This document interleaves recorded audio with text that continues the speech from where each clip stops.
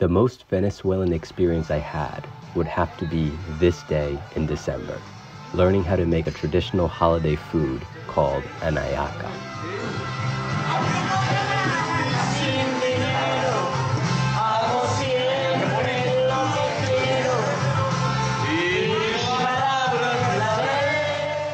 But let me bring you up to speed as to how I ended up here. I've been running around Venezuela for two months now. From Caracas, I made my way to Valencia, experiencing the passion of the people at a Magallanes game. In Sorte, I witnessed the spiritual traditions that take place in the mountains. And in Barquisimeto, I was overwhelmed by the Venezuelan hospitality of a taxi driver. The chilly weather in Merida showed me a side of Venezuela I didn't know even existed. Despite the warnings and horror stories people told me about Venezuela, I felt comfortable traveling alone. One thing that stayed consistent during these two months was that whenever I told people I planned on leaving at the end of November, they told me that December was when Venezuela comes alive. I was just starting to see that the Venezuela I was warned about wasn't the full picture, and I wanted to see this other side a bit more. So I extended my stay through New Year's. As soon as December started, it felt like the whole country went on vacation and celebrated. The streets were covered in illuminations, and wherever I went, people were hanging outside, drinking, and listening to gaita, a traditional music here in Venezuela.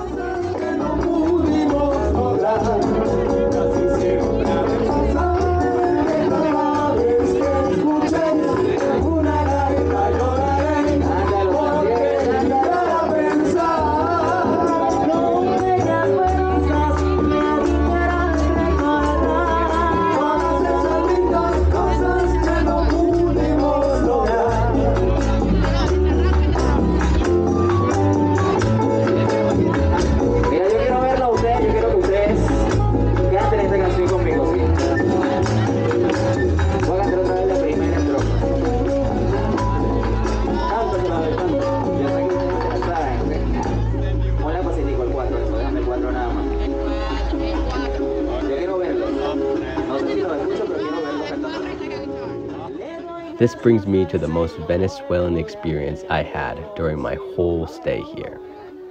It's a day where extended families all come together to cook, drink, and dance all day to make hundreds of this traditional holiday food called hallacas. My friend's family in Valencia invited me to their family gathering, or ayacaso as some people call it, and I spent an afternoon learning how to make an hallaca. Con la cucharilla. Exacto, dale, te diciendo que puedes aprender a la hoja también, ¿oíste?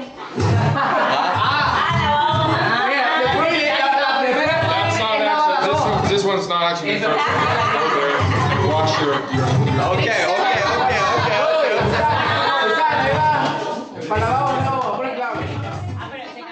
I assumed the first step was to roll out the corn dough, but I was wrong. They weren't gonna let me off so easy.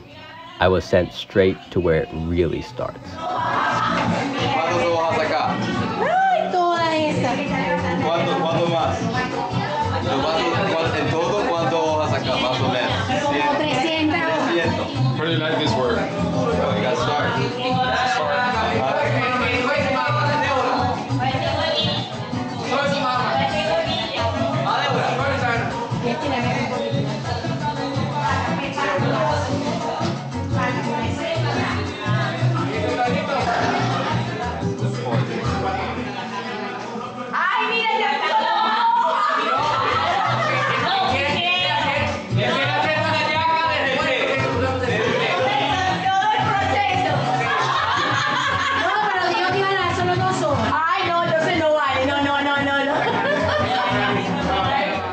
After graduating from cleaning and preparing the banana leaves, I was invited back to the table to start rolling out the corn dough.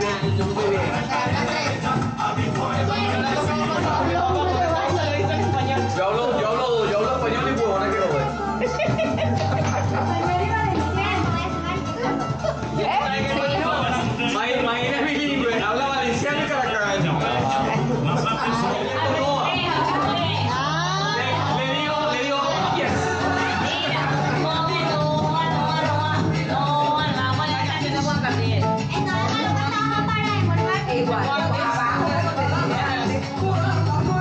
mean, it is one of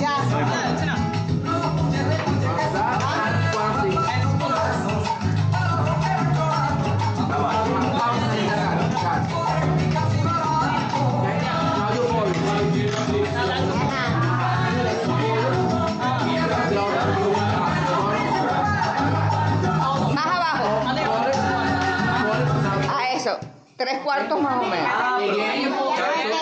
Cabezón no arma, pero sabe cómo No, pero hace rato. Mira, no joda. Ah, no, no, no. Claro, él estaba viendo. Él me dijo que tenía que Él es buen observador. Sí.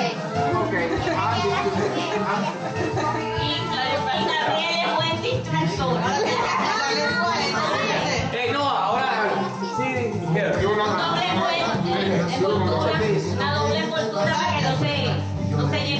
ah.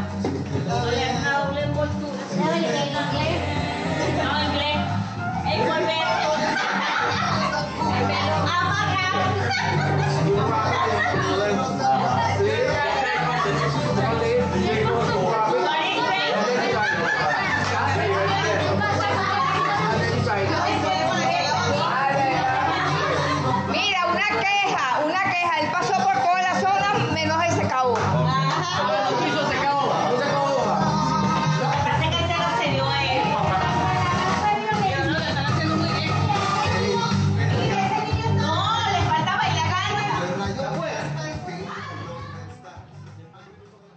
By far the hardest part of the process was tying it together at the end, so when they are boiled, they don't fall apart.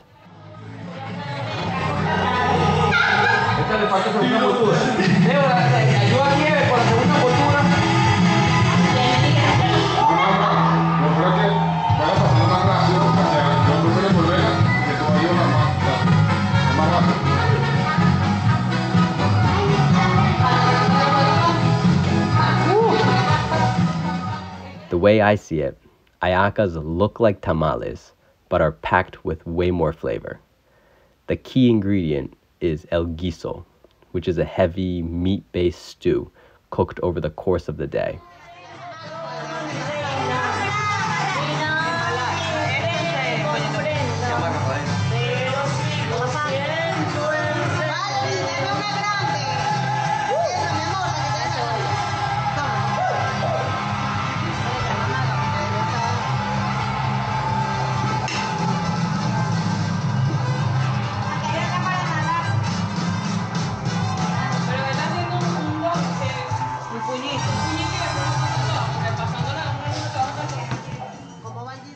The hallacas tasted incredible, but by far the best part, and honestly my favorite food while in Venezuela, was this cup of leftover el guiso paired with some fresh bread.